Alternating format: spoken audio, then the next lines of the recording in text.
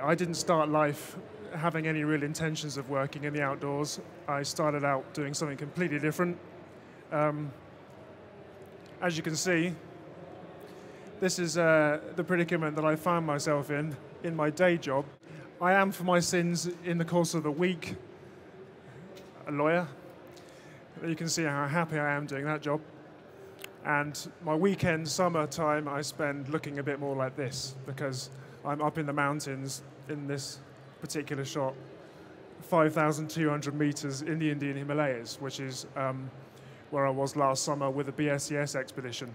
Um, the BSES are an organization um, which have been around uh, hundreds of years, and they are intending to take young people between the ages of 16 and 21 into the outdoors and take them on one month or three months expeditions to genuinely put them in an environment where nobody else has been before.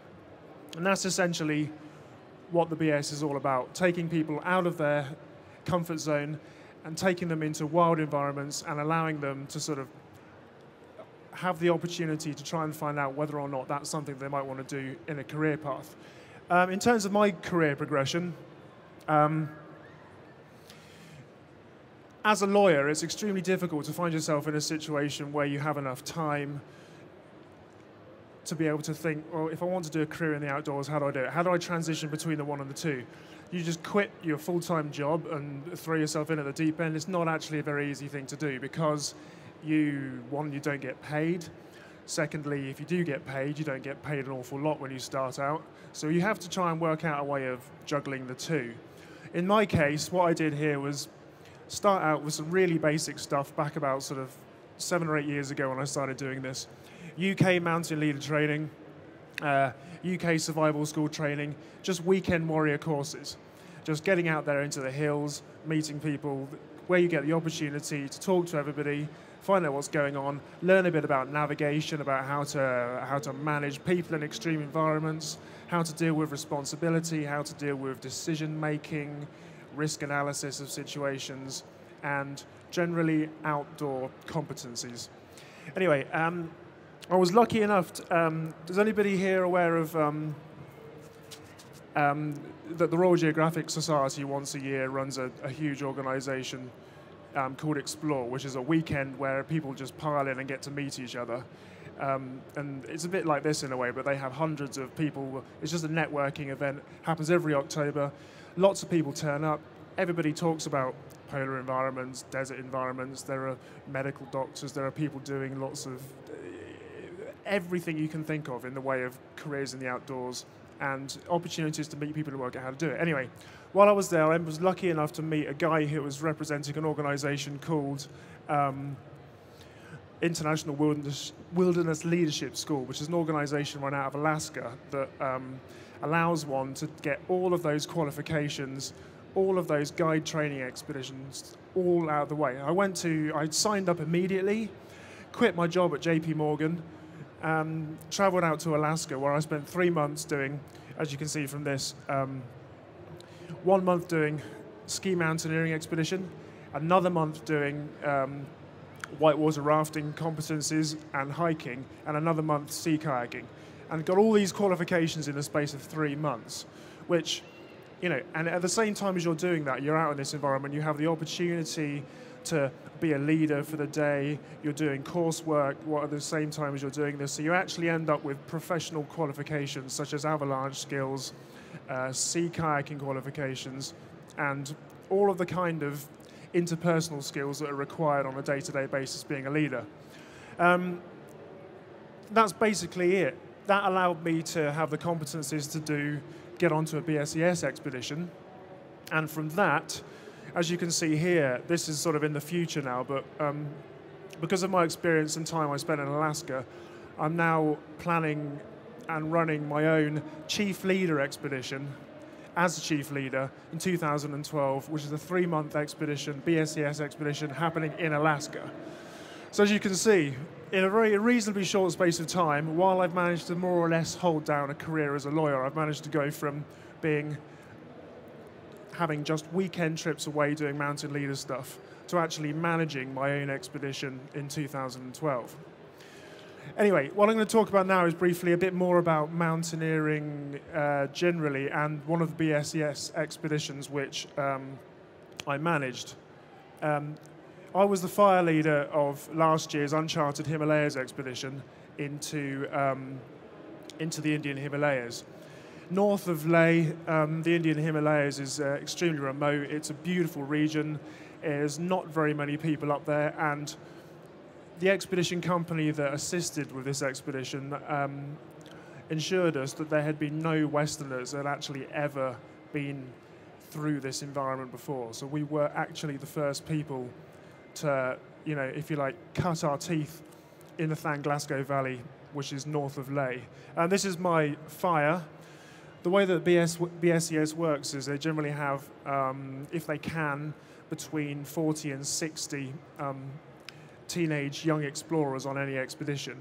And these are divided into groups of roughly 10, and each one of those groups is called a fire. And I was on this occasion a fire leader, which means that I have responsibility for these chaps. Um, and fantastic crew they were too. Um, moving on, uh, this is a question that for some reason these outdoor people and everybody else at the BSES seems to think it's important to want to know what's involved in a typical day. And so obviously you do the obvious thing and go, well, there's no such thing as a typical day, but there might be some consistencies, shall we say, that happen in a day. One typical day on an expedition might involve some walking, for example, and there we all are walking in through a gorge. Um, of course, that wouldn't be the case if you're on a sea kayaking expedition, but in many other cases, walking reasonably long distances through beautiful environments such as this is something that you're going to find yourself doing. Um, managing people in the outdoors is, is, is difficult. People walk at different speeds, people complain, people can't carry anything, people pass out because of the heat. People want to show how fit they are because they're headstrong. So you have a you have a narrow starting point of people. Everybody's in a group, and it slowly drags itself out like this. And you have to try and keep all these people together. You have to keep them happy, and you have to keep them all in a place where they're all happy to operate with, amongst each other. Okay, second point in a typical expedition day um, might, on the off chance, involve some camping. um, what happens here in the size of this expedition, you can see this is more like a Raj uh, sort of laying siege to part of Kashmir. Actually, what it happens is there is 40 young explorers on this expedition, 15 leaders, 10 cooks, 10 Sherpas, 70 horses, and about 40 horsemen to manage the horses, carrying all your equipment and all their equipment. And when everything is set up, it looks like this. It's a huge undertaking. And this is what the BS is all about. It's not about taking small groups of people and taking them on adventure holidays. It's about a real expedition, and that's what this is. Okay, third point of a, um, a typical day might involve obstacles. Uh, this, of course, is a, a, a, and I had a photograph of which I was originally thinking to use here, which is a photograph of the side view of the bridge, and you can see the water running underneath. And it just looks like a bridge which of course, when you're walking up to it, is not a problem. But When you're actually faced with this, you know, we're in the third world, a developing world country, you have a situation where you have to deal with risks which there's no safety monitors for that bridge. How many of you guys here, you know, just happily with a heavy rucksack on, cross that? That's a good bridge that was one of the best ones we crossed, okay? You know, and it doesn't, and you've got a big rucksack on your back, and you have to think to yourself, is that going to take my You might be lucky, you might not. That's the expedition environment for you. You just don't know. Incidentally, I should point out the horses did take a different route from that. okay, um, amusing expedition situations. This is part of uh, uh, an expedition environment where even though you're uh, out in the middle of nowhere with a lot of people, and it's very unlikely that you do happen to, to bump into other people because you're in the middle of nowhere, it is remote. Occasionally, odd things happen, And in this case, we're walking through a huge valley. There was probably 10 miles in either direction you can see, mountains up either side, and we rounded a corner in the valley, and out of the blue, there's a small pocket of ladies and a couple of guys, and they are all dancing around a big stereo powered by a solar panel in the middle of the valley. And there they were. So, um, wanting to sort of employ a kind of a convivial, friendly attitude, we joined in. And there we were, 100 miles from civilization, dancing round a stereo powered by solar power with some of the locals. And there they all are. And there we are for a nice convivial photo at the end of it. Okay, um, that I didn't expect to happen. Amusing situations, there we are. okay, I realize that this, um, it doesn't really look, this actually is obviously not that amusing in itself. What gave rise to this was definitely very amusing, but can't really talk about it. if, you, um, if you have any questions and you want to speak to me afterwards, maybe I'll explain what happened then, but I can't do it because the, guys who, the guy whose hand this is is here somewhere. I hope he's not here now. Okay, um, challenges. Um, one of the big challenges that you have with leading anybody, and specifically young people, is uh, responsibility. And this level of responsibility is on a very personal level and on a professional level. And on a professional level, here I am with my qualifications and my fire, and these guys are standing on a glacier, which you can see disappearing up into the distance. Now, this glacier, as all glaciers have, has crevasses all over it, okay? And you have the responsibility to make sure that all members of your team are roped up to make sure that if there's a situation where one of them steps over a piece of snow which is covering a crevasse and one of them goes down into that hole, that you've got the responsibility, you've got the mindset, the skills, and the calm demeanor to be able to deal with getting them out. And this is something that you have to deal with not every other day, not occasionally during the day, but during the course of the entire expedition. There is a very real chance that even if you save someone, if they've gone down a crevasse, they might have broken a leg, or they might have broken a bone, or they might be incapacitated in one way or another. And you have to remember that you're in an environment which is 100 miles away from civilization, and it's not a case of getting a helicopter in. You can't pick up a phone. You have to, the only way that you get people out of this environment is on the back of a horse, and it's a three day walk. So it's not the kind of place where you want to hurt, get hurt, so you don't take any risks. And that, ladies and gentlemen, is a degree of responsibility.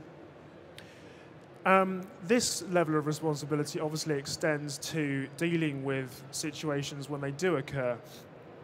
Uh, this was a very uh, real situation which happened um, me and uh, the rest of the expedition were in the process of attempting a 6,000 meter summit that had previously never been summited before, another BSES first. And on this occasion, unfortunately, um, one of the girls who was a member of my fire did suffer um, what you would call, uh, had the symptoms of a, high altitude cerebral edema, which is obviously, if you don't know what that is, it's just consider it very, very high likelihood um, of dying. So what we did was we, um, the fire were fantastic, the Sherpas were fantastic. We got this girl back down to the high base camp from the position we were in. And then we took her, we had a medic with us, so we had her on oxygen, and we managed to get, um, managed to get her the right drugs. The Sherpas built a stretcher, as you can see here, and um, we managed to get her on the oxygen, we managed to pack her in, and all members of the fire and all members of the expedition that were with us manhandled this one girl down across, you know, car-sized boulders from five and a half thousand meters down to about three and a half thousand meters where she were at Lowe's base camp and she made a full recovery. So it was all a good story at the end. But you know, you do bear in mind that this is again, this is a level of responsibility that you have to accept if you're going to become a leader, and you can't do it alone, and you do need people around you. And the kind of people you have around you, such as doctors, the support of the Sherpas, are all the kind of things that make that happen. But you need to, you need to be calm, collective, and you need to organize it. You need to coordinate it, and you need to make sure that the function. You need to be able to stand back, take a calm approach, and look at the overall picture, work out how this is going to be achieved. Anyway, so there you are. She's all right, and she's she's back home. I should point out that there was. Um, it, not that it's ever lucky that you have anybody with um, needs carrying off a mountain, but this girl was, um, bless her heart, probably five and a half stone. We had guys up there on this expedition that were 15 stone. I don't know what would have happened if we had to try and carry one of those guys off. anyway, moving on. Right, how do you feel at the end of an expedition day? um, this is this is another question which I'm not quite sure why everybody seems to feel is important. Um, to sort of make the point here, this is nowhere near the end of the day. Now you can see how they're feeling. This is probably, I, can't, I think we just come off the summit at this point. we just done another peak, which is around about five, 6,000 meters. And what happened here was that um, we got back to a, a, safe place off the summit and then decided to uh, have a bit of a rest. At which point, most of the expedition lie down and on these uncomfortable rocks just falls fast asleep. So that's how you feel halfway through the day. I don't need to probably explain how you feel at the end of a day. Right, most rewarding part of the job. What do we think that might be? Um, there's two aspects to what I think is the most rewarding part of the job. One of them is obviously um, achieving what you went out there for. Here we are. This is my my fire, Zanskar fire, standing at 6,100 meters at the top of a previously unclimbed mountain. Okay? No one's been up there before. Um, we took about 12 hours from the high base camp to get up there. And at that altitude, it's extremely hard work, and everybody's climbing very slowly, and everybody wants to stop every 30 seconds, and I'm sort of standing in the back going, get up there, get up there pretending that I can't feel the altitude at all. but of course I can. I'm trying to put on a brave face. And then when you get to the top, there's just elation with everybody. Absolutely. People are throwing snowballs each other, rolling around in the snow. They forget the hardship of actually having climbed to the top, and there's this enormous sense of achievement. Suddenly, the entire expedition realizes why they're there. They see this for the first time. They see themselves standing on the top of this mountain and they realize why they're in that environment. They realize what all this has been for. And that collective sense of achievement is denominated from the teamwork that happened to get them up there. And so they realize they relied on each other, they've all clubbed together, they've all worked together, and together they achieve.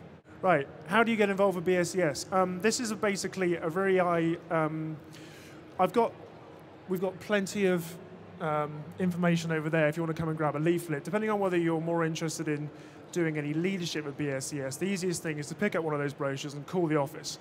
The website has got leader application forms on there. It also talks about levels of qualification uh, that you might need, which are essentially I wouldn't say as important as just providing them with evidence that you've got the right character, you've got the right, uh, you know, strength internally to deal with being a leader. And the BSES is very, very helpful. As you can see right back at the start, with my own BSES, what I did was start out just being a fire leader. And these guys are going to put me on an expedition every year, and I'm going to be a bit more advanced. So by 2012, I'm going to be a chief leader. You know, I didn't ever expect it to happen like that, but there you are. Anyway, so what next? Um, this is, uh, you know, really more just me scratching out some ideas about how I think it, it, it's worth getting, how to get involved, how to go about maximizing the opportunities when you get them.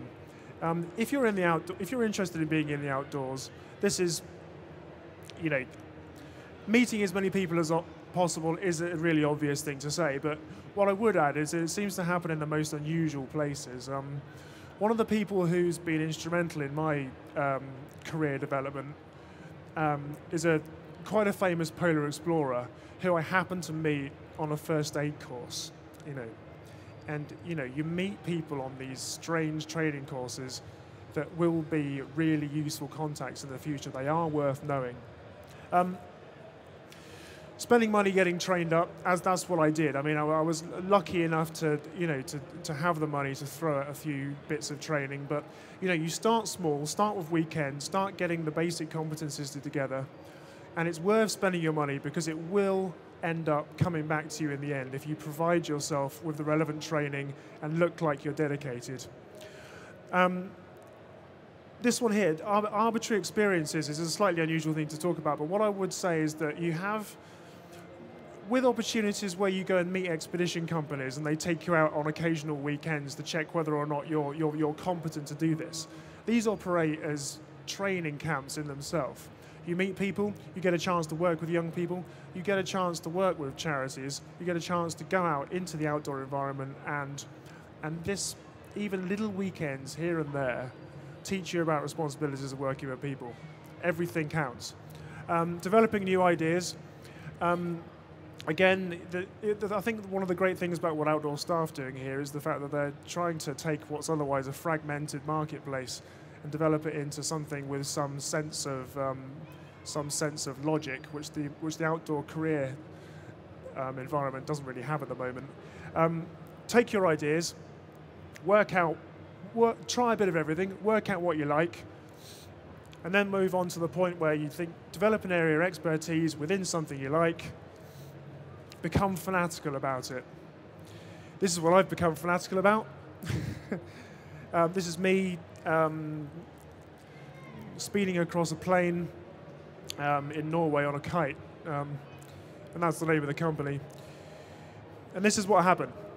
Through the career of me starting out as a, as a lowly, miserable lawyer, I've now developed myself into a position where I'm starting to think of my own ideas, starting to think of my own development, okay. my own plans, my own company, my own outdoor world. I'm not going to be looking um, at the screen. and that is a position now, which, for me, death by PowerPoint. Yeah. An interesting, sometimes very scary transition. Cool. And you'll switch it on. But within the space of only yeah, a few years, suddenly. you can make it happen. That's brilliant. Thanks you can make much. it happen as well. That's everything I've got to say. Um, I'm just going to um, point out that in terms of the BSES information and any of the stuff, anyone that's any interested in any of the stuff that I did in Alaska, that kind of core competency training in the outdoors. Um, I've got information on all of that, and I'm going to be hanging out over here in the corner for um, a few minutes if anyone has any questions. Okay? Thank you very much for listening.